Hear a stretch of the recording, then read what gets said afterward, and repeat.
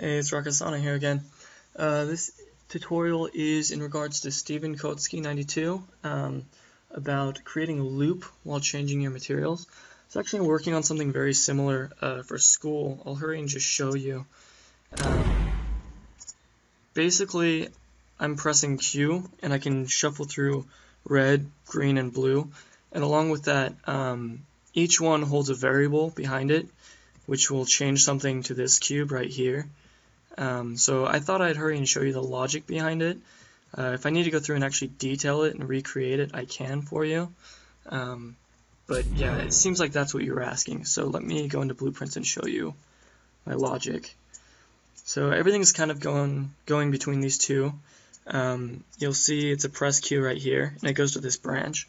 And I'm using this variable called color state. Um, and with that, the logic behind it is I'm using 0, 1, and 2 to call what color I want.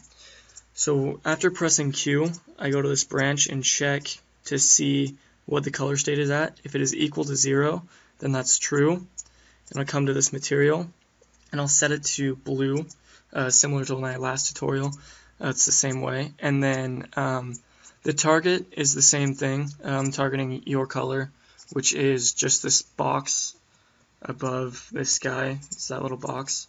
Um, let me go back into that. So yeah, so that's where I'm targeting from there. And then everything else um, is just creating a string so I can see uh, in the editor um, or within gameplay up in the top left to that uh, it's red or green or blue or whatever. Um, but yeah, so I'll, I'll, walk through the rest of the logic. So uh, if it doesn't equal 0, um, then it's false, and it's going to go to this next branch and check to see if it's 1. If it is 1, then it comes to here, sets it to red. Um, if it isn't 1, then it's false, and it'll come to here and set it to green. Um, so that's how those are going through. So basically, you just have to be able to make this variable go up by an increment of 1 every time you press Q. So that is what this one's for. So this says if you press Q, it comes to this conditional branch and hurries and checks if it is greater than 2, which I'll get that to that in just a second. Um, but if it's not, then it will uh, grab the variable color state um, and it will add it by 1 right here. Um, so that means that you start at 0 and you add to 1 and then you add again to 2 which comes with this conditional. So if it's 2 or greater, then it is true.